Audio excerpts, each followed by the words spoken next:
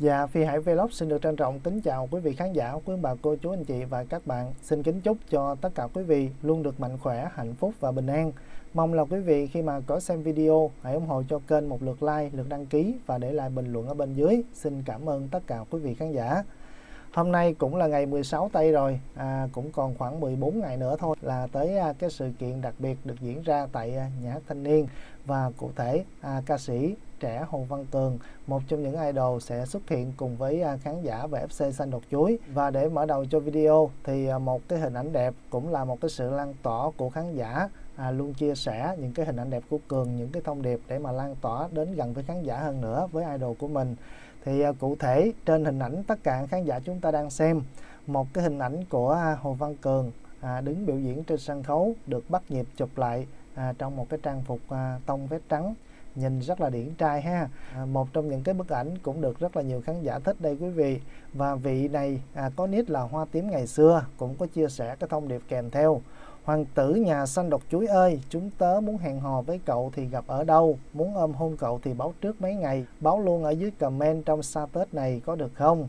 Mấy trăm người hôn thì cậu ấy có bị xỉu không ta? Cường hẹn gặp cả nhà ở ba show diễn sắp tới, cả nhà nhanh tay đặt vé để có chỗ ngồi ưng ý nhé. Ngày 30 tháng 5, ngày 1 tháng 6 và ngày 8 tháng 6 à, một cái thông điệp một cái sự lan tỏa nữa của khán giả về cái hình ảnh đẹp của cường được ghi nhịp lại bắt nhịp lại trên sân khấu và cũng như những cái dòng tin để à, tất cả khán giả cũng như là FC xanh độc chuối đó à, chúng ta còn ba cái hẹn tới cùng với cường đó là 30 tháng 5 1 tháng 6 và 8 tháng 6 cho nên nếu tất cả cô chú anh chị khán giả của mình ai mà chưa có mua vé thì hãy nhanh tay lên đặt cho mình một cái chiếc vé thật là sớm có thể liên hệ trực tiếp chỗ của chị Hồng Phước Đặng để mà nhờ chị bút cho mình một cái chiếc vé một cái chỗ ngồi thích hợp nhất để mà đồng hành với Cường trong những cái sự kiện tới cũng như là nhà FC xanh độc chuối tranh thủ nha quý vị. Mà quý vị có còn nhớ là à, trong cái phiên livestream trên à, trang fanpage của Hồ Văn Cường vào cái buổi à, tối mà nấu ăn cùng với mẹ bên gia đình đó quý vị thì à, có một cái đoạn mà Cường cũng có chia sẻ hỏi khán giả là có mua vé chưa? Rồi cũng có nhiều khán giả cũng à, à, comment là cô mua vé rồi rất là nhiều vân vân. Đó quý vị thì những cái hình ảnh đó rất là đời thường và rất là dễ thương. Chúng ta cùng xem lại để chúng ta nhớ à, Cường có hỏi khán giả có mua vé chưa nha. Để khán giả mình à, nhanh tay đặt vé nha quý vị.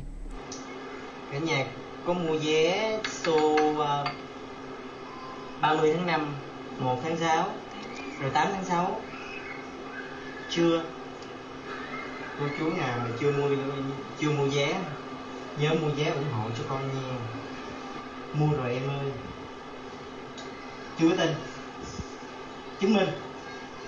Chứng minh. Tôi cần chứng minh.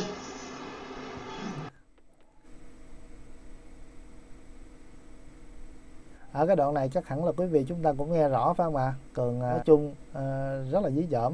Khán giả đã mua chưa? Cần bằng chứng bằng chứng đâu hả quý vị? À, nói chung là cường à, cũng à, chia sẻ tả tính là khán giả đã mua vé chưa để mà ủng hộ cường và cường cũng gửi lời cảm ơn với quý vị. Dạ cảm ơn cô Thu Nguyệt.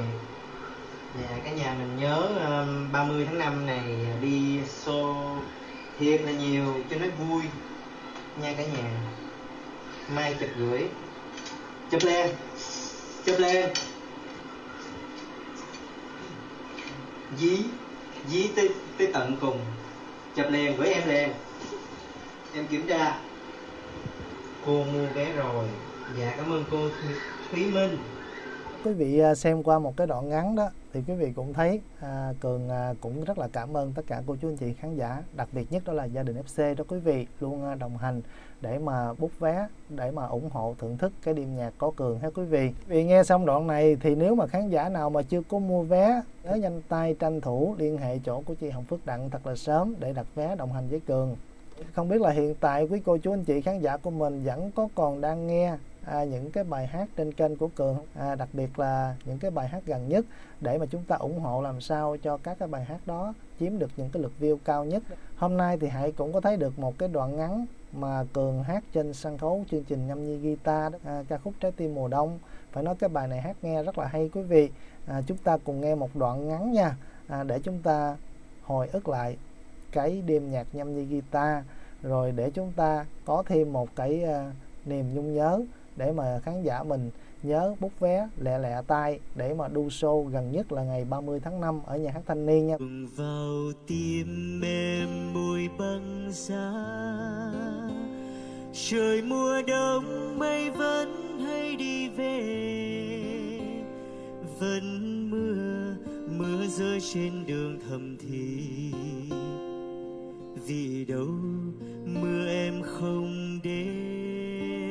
Dạ nghe đoạn ngắn được rồi hả quý vị? À, để cho khán giả cảm thấy hơi bức rứt tí xíu để mà khán giả nào chưa có mua vé thì à, nhớ nhanh tay đặt vé để mà đồng hành trong cái show gần nhất là ngày 30 tháng 5 nhớ nha quý vị liên hệ chỗ chị Hồng Phước Đặng để đặt vé.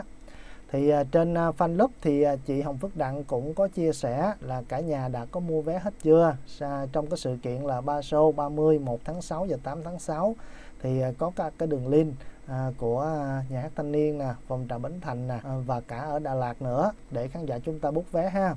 Thì à, cái show gần nhất là ngày 30 tháng 5 để hãy xem cập nhật luôn cho khán giả mình đến thời điểm này là à, còn à, bao nhiêu vé nha quý vị. Thì à, trên cái hình ảnh tất cả cô chú anh chị khán giả của chúng ta đang xem đó thì hiện tại à, vé hầu như cũng bán được à, chắc à, hãy nhìn trên cái sơ đồ này chắc cũng khoảng à, chắc 2 phần 3 hả quý vị? À, cũng còn lại à, kha khá nhiều vé. Vé đỏ còn vé vàng và cả vé xanh cũng vẫn còn.